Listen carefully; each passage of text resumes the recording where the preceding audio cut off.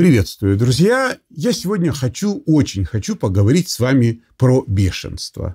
Говоря про бешенство, я не имею в виду то состояние, в котором находятся наши соседи. Говоря про бешенство, я имею в виду совершенно конкретную инфекционную болезнь, смертельно опасную. Я еще раз повторю, кто не совсем это понимает. Это болезнь смертельно опасная. То есть, если вы заболели, то шансов выздороветь у вас ровно ноль процентов. Поэтому все упирается в профилактику. Но почему сейчас это особенно актуально? Вот вам совершенно очевидные и понятные цифры. В Украине за первый квартал 2023 года было зарегистрировано 190 случаев вспышек бешенства среди животных.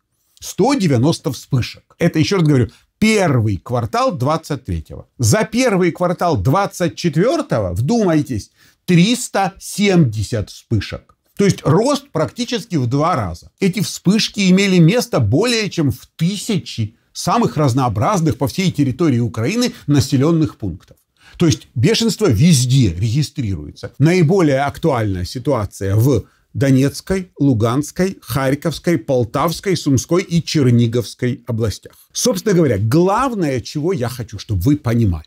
Помимо того, что количество случаев бешенства растет, с контролем огромные проблемы. Реального количества случаев бешенства у животных не может знать никто, потому что, как вы сами понимаете, в прифронтовой зоне контролировать бешеных животных практически невозможно. Сейчас когда такое творится по сторонам, вакцинировать животных, опять-таки, многие забывают, и встречаясь с дикими животными, многие надеются, что пронесет. А встречи с дикими животными стали проходить все чаще и чаще. Почему? Прежде всего потому, что огромное количество людей из городов перебрались в сельскую местность. Это раз. И второе, увы и ах, в связи с военным положением Охота повсеместно запрещена. Количество лис, енотов растет в геометрической прогрессии. Люди по деревням воют воем просто воют воем, потому что потерять все, что у тебя есть, гусей, куры и так далее, это совершенно очевидные вещи. Особенно с лисами ситуация, еще раз говорю, просто катастрофическая. Мне пишут куча писем, мне говорят люди, Такого не было никогда. Есть районы, где местные власти договариваются, договариваются с военными, договариваются с администрациями, которые над ними, принимают решения, временно разрешают охоту, отстреливают лишнее. Но в большинстве никто не хочет на себя ответственность брать. В результате количество лис ну, просто нереальное. Я вот даже думаю, знаете, есть такая стандартная рекомендация, стандартная рекомендация, если вы видите посреди населенного пункта дикое животное, то надо позвонить в полицию. Вот если я сейчас призову вас звонить в полицию, когда вы в деревне увидели лесу, то, поверьте мне, пол Украины только и будет делать, что будет звонить в полицию, потому что вот бегает оно. Собственно говоря, к чему я хочу призвать? С одной стороны, я всех людей хочу призвать к тому, чтобы вы были бдительны.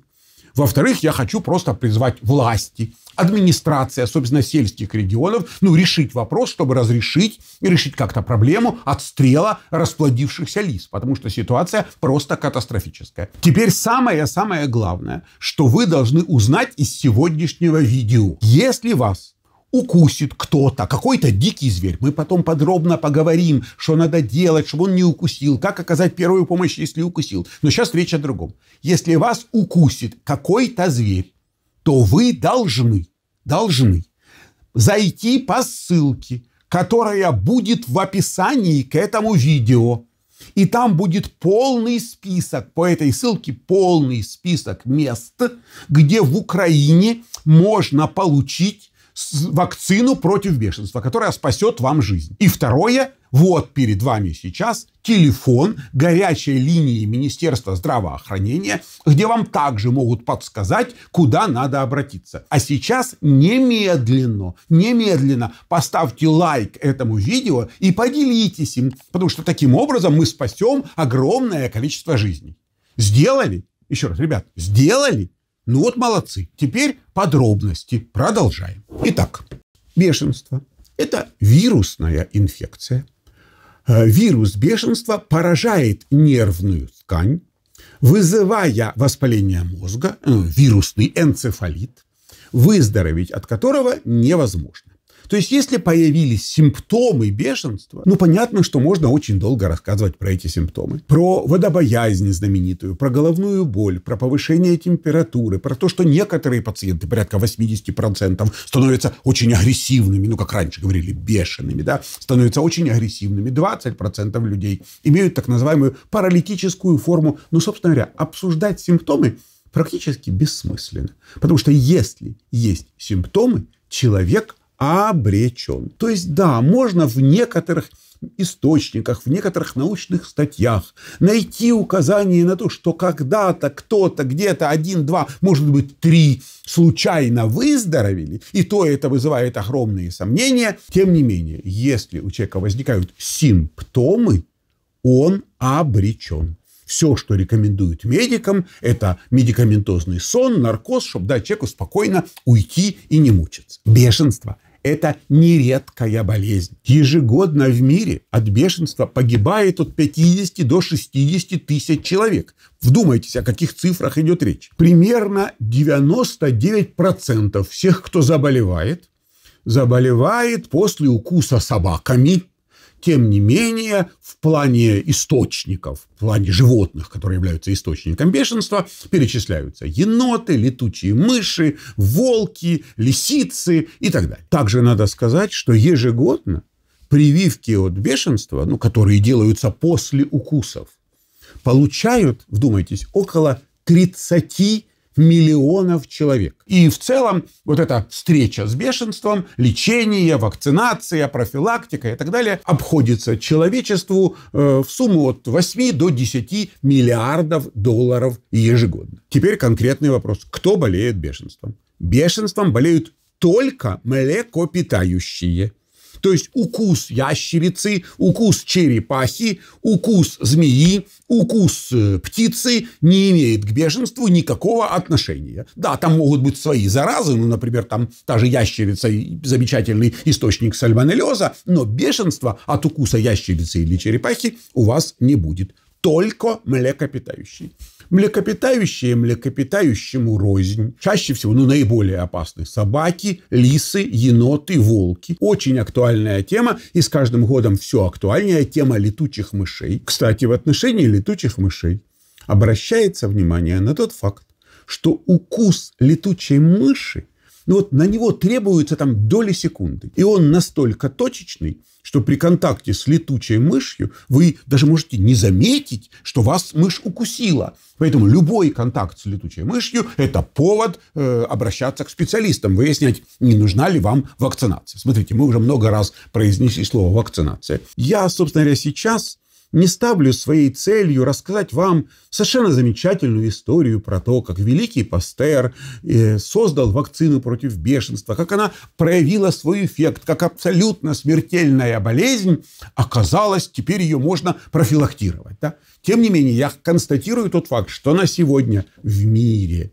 в мире есть эффективные, очень безопасные прививки от бешенства – всех антивакцинаторов, которые обязательно появятся под этим видео и устроят вой по поводу того, что все прививки, как бы это, ну вот, бизнес на человеческих страданиях, да, и как они не хотят ничем вакцинироваться. Вот я хочу видеть, как они после укуса диким животным не пойдут вакцинироваться в ситуации, когда речь идет о потенциальном риске смертельной болезни. Вот прямо очень хочется услышать их аргументы именно в этой ситуации, но они скажут примерно то, что всегда говорят эти наши эксперты, это другое это другое. Тем не менее, обращаю внимание, что каждый наш человек примерно понимает, что если ему для спасения жизни нужна конкретная вакцина, то, как правило, теоретически, спасение утопающих – дело рук самих утопающих. Поэтому, если вы наберете в гугле «вакцины от бешенства купить Украина», то вы увидите в огромном количестве вакцины для профилактики бешенства у домашних животных. А вакцины для профилактики бешенства у человека вы увидите только в частных клиниках и за немаленькие деньги. Обращаю ваше внимание на то, что вакцина от бешенства – Это, по крайней мере, утверждает Министерство здравоохранения. Так вот, Министерство здравоохранения утверждает, что в Украине достаточное количество вакцин против бешенства, которые есть везде, где эта вакцинация проводится. А она проводится чаще всего в травмпунктах, занимаются такой вакцинацией, как правило, специалисты, которые называются рабиологи. Рабия с по латыни бешенство. Соответственно, специалисты по профилактике бешенства – рабиологи. Вакцина для профилактики бешенства – антирабическая вакцина. Обращаю ваше внимание на то, что есть такая страшная, пристрашная страшилка, которая уходит корнями еще в вакцинацию, которая делалась при Пастере, о том, что уколы обязательно делаются в живот, о такой большой иголкой, что надо 40 уколов в этот самый живот. Люди! Времена 40 уколов в живот кончились давным-давно.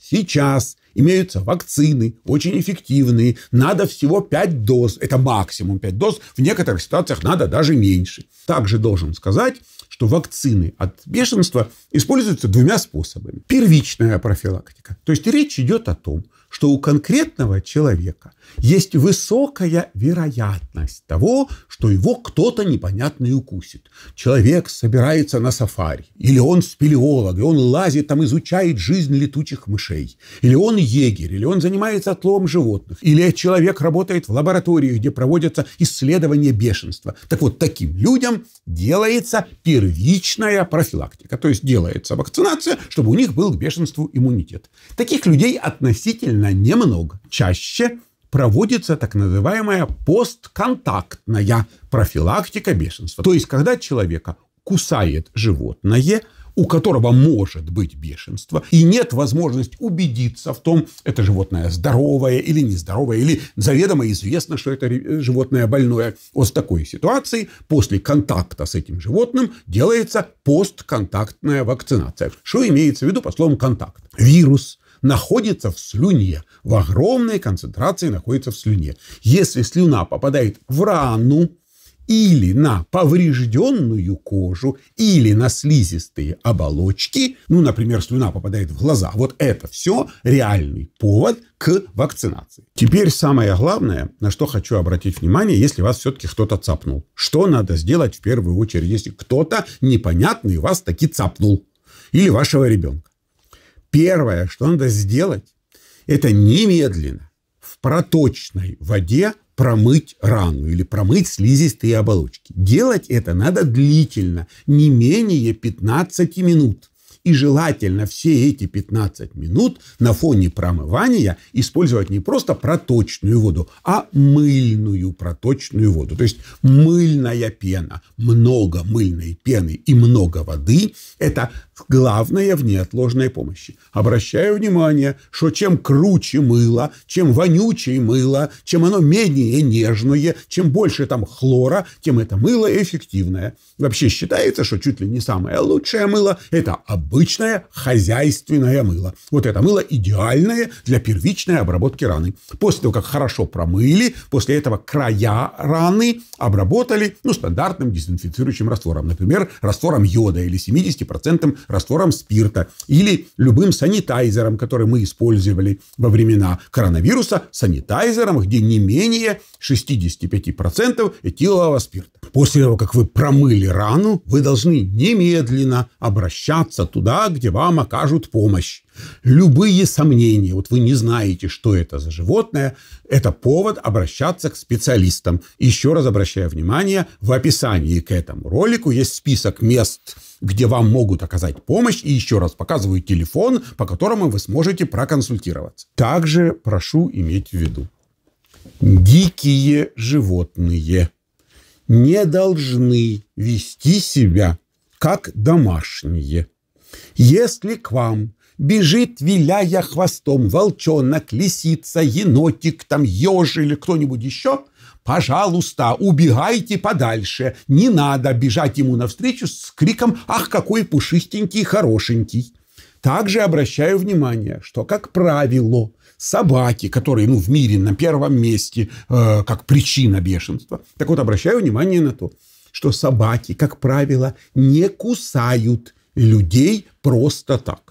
Большинство собачьих укусов спровоцированные. Спровоцированные, когда ребенок или взрослый просто лезет к собаке, которая занята, которая занята едой или щенками, которая не до вас, которой вы подкрались незаметно. То есть любая собака должна вас увидеть, обнюхать, и только потом э, человек с незнакомой собакой хоть как-то пытается вступать в контакт. Также надо понимать, что животное заразно за 10 дней до появления симптомов. Поэтому вы никогда не можете заранее знать, это животное здоровое или больное. Если после укуса вы можете установить за животным наблюдение, и в течение 10 дней э, животное окажется здоровым, то, скорее всего, вакцинацию можно будет или не начинать, или, смотря куда вас укусили, э, прекратить. Почему это так важно? Смотря куда вас укусили. После укуса вирус по нервным стволам медленно распространяется и добирается до головного мозга. Поэтому чем ближе место укуса к голове, тем опаснее. То есть, когда кусают в ногу, то есть пару месяцев, а когда кусают в лицо или в шею, то есть пару недель. И об этом надо думать. Поэтому чем выше, тем опаснее, чем скорее принимается решение о введении э, вакцины. Далее, я мог бы долго рассказывать, в каких ситуациях надо, в каких не надо. Но я хочу, чтобы вы сейчас поняли самое-самое главное. От бешенства не выздоравливает. Человек в здравом уме не должен рисковать, потому что, еще раз говорю, речь идет о смертельной болезни и в любой подозрительной ситуации. После контакта с млекопитающим, которое вас укусило или обслюнявило, так вот, любые сомнения трактуются в пользу обращения за медицинской помощью. А врач расставит точки над «и» и решит, надо вас вакцинировать или нет. Поэтому, друзья мои, делайте правильные выводы и обязательно поделитесь этим видео, чтобы много-много людей смогло сделать правильные выводы.